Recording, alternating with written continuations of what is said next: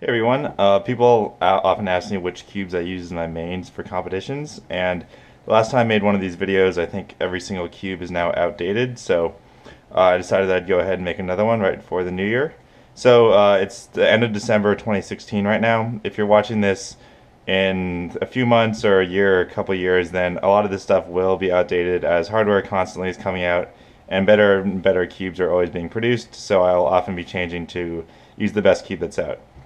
Um, for all this stuff, if it's available on the market, you can get it at thecubicle.us. If it's not, it is being produced by thecubicle.us and they'll probably be selling it at some point in the future.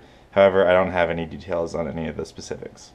Um, so to start out, uh, I'll just go over the lubes real quick. Um, this is a Maru lube. It's a pretty basic lube. It's known for being incredibly fast but wearing out really quickly and that's pretty much what it does. Uh, you put in your cube if you want it to be as fast as it possibly can get. Uh, oftentimes it makes your cube a little too slick um, as it just gives you pure speed. It will wear out in probably 30 to 40 minutes though. Um, but it's pretty useful for like competitions if you need a little bit of extra speed. Put it in, work it in for about 10 minutes, then it'll be good to go while you're competing before it starts to wear out. Uh, while practicing, um, you probably have to apply it at least once an hour, which is kind of annoying, but that's just kind of how it works. Also, I use Cubicle Silk, which is a much thicker, you can kind of tell it's a little thicker of a lube. Uh, it's pretty good all-purpose lube. It works on a lot of different stuff. Kind of put it in a cube. If it's a little kind of too slick with the Maru feel, Lubicle Silk will usually kind of slow it down to a more controllable speed. Um, this new blue lube is produced by the Cubicle. Uh, doesn't have a name or a release date yet, but it was made to actually emulate Maru lube, and it does a really good job at that. Um, it's not quite as fast as Maru, but it definitely gets really close and it doesn't wear out. That's the best thing. It's supposed to be Maru that doesn't wear out and it does a pretty good job. Um, I put it in my 6x6 a lot and I really couldn't tell that it was starting to wear out for like uh, at least 100 sols, which is probably 10 times better than Maru in that aspect. Um, it, still, if you want the absolute max speed, you're going to probably want to use Maru, but this will get you almost as close, but for way, way, way longer of a period of time. So um, I really like this, especially on uh, some of the bigger cubes. So uh, in terms of actual hardware, I'm only going over the events I actually compete in, which are 3, 4, 5, 6, 7, and then one-handed. Um, I'll start with 3x3. So I have a Cubicle Magnetic Valk 3. Um, this is available on the Cubicle. I think it's like 50 bucks right now. Um, I really like it. Uh, a lot of top cubers have been picking up the magnetic cubes. I definitely think that they're a little better than their standard counterparts. Um, for a lot of the top cubers share this opinion that the magnets do kind of help out in terms of uh, reducing the small errors that you may have during competition solves, but really overall they're not going to make you a better cuber or really drastically improve your times. I found uh, similar results myself. I really like the magnetic cube. It gives me more stability, more confidence when performing some of my algorithms that I mess up a little more, but it really isn't like leaps and bounds above the regular Valk 3. However, I definitely do prefer it. Um, I think also if you're a slower cuber or a newer cuber, that the magnets might help you out a little more as you tend to mess up your algorithms a little more. And so the differences might be larger, but especially for the elite cubers, it's definitely something nice to have, but not 100% necessary. For 4x4, I'm using a magnetic Yuxin Blue 4x4 with the Thunderclap spring swap.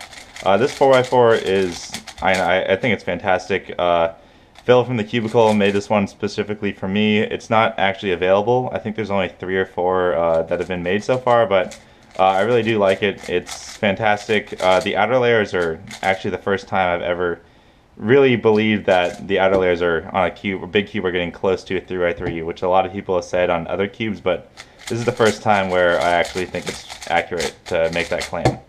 Um, yeah, uh, I guess this isn't actually available right now, and when it does come out, it will probably be very expensive. Um, before this, I was using the new Qi cube, but uh, after Phil sent me this one, I definitely like this one. Um, so for 5x5, I'm using the Yuxin 5x5. Uh, there, nothing's been done to this except probably like three or 4,000 solves. I've been using this since about May. It's uh, really, really, really fast, which is my favorite thing about it.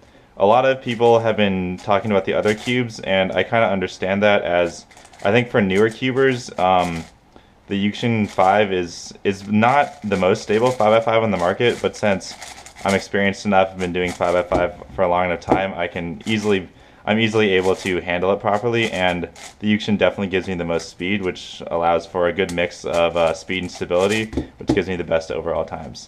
Um, I know Feliks and I are still both using the Yuxin 5, and I definitely think that, especially if you're a top cuber, it's the best, and it's a good cube to have as it just has the highest top speed, and if you can control it, it's definitely going to be the best cube. Um, for 6x6, I'm using the Yuxin Red 6x6 with the Yuxin 5x5 spring swap. Um, I really, I've been using this since June, I think. Used it all summer at Nationals World or National Zeros Asian Championships, and I'm continuing to use it. Uh, really, really, really like this cube. Uh, you do have to do the spring swap on it. That's absolutely necessary. Um, but yeah, it's much smaller than the competition, and I think the 65 millimeter size is definitely the best for a 6x6. Um, but yeah, it's uh, really nice. It has a good mix of speed and stability, similar to the 5x5. Um, if you have accurate turning with this cube, then it hardly ever pops. And the only time I get pops are when my turning's not as accurate. The corner pieces will sometimes fall out, but really overall it offers speed that the other cubes really just can't match. And the maybe slightly more pops is definitely worth it in the long run. Um, for 7x7, I'm using the Yuxin 7x7 stickerless version.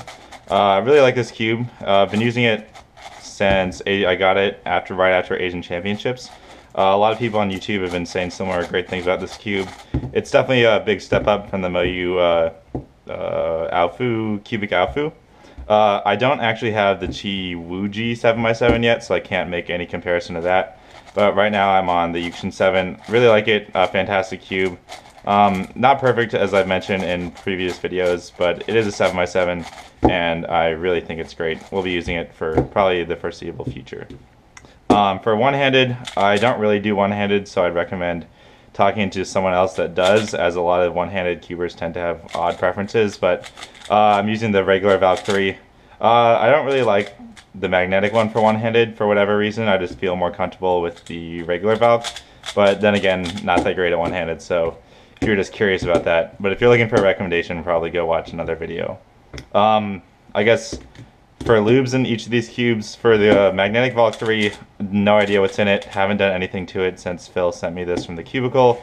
Um, for the Magnetic Yuxin 4, uh, all I know is that there's a bunch of this blue lube in it, but I actually personally haven't done anything to this cube since I got it from Phil. He just told me that there was a bunch of the blue stuff in here. Uh, for the Yuxin 5, I forget, I haven't lubed this thing in ages. I forget what I used it on it a long, long, long time ago, but now mostly if it slows down a little bit, I'll just put a little bit of the blue stuff in it, and then, um, yeah, it'll be good for a long time. So not too much maintenance here. For my 6x6, uh, I don't think I put, I think it was mostly Maru to begin with, and then when I got the blue lube, I uh, have been using the blue lube on it since then. So yeah, just a ton of the blue lube here. For the Yuxin 7, um, when I got, I don't think I put anything into it when I got it. I actually, for the Yuxin 7, oh right, um, for the Yuxin 7, it was a little fast, a little slick when I got it, so I've been using some of the Lubicle Silk on this one to kind of give it a more controllable, fast feeling as opposed to a little too slick and uh, uncontrollable. Um, for my one-handed Valk, I think I've been using Silk. I really don't know, but really who cares? I don't do one-handed that much or that well. So, um, yep, there you go.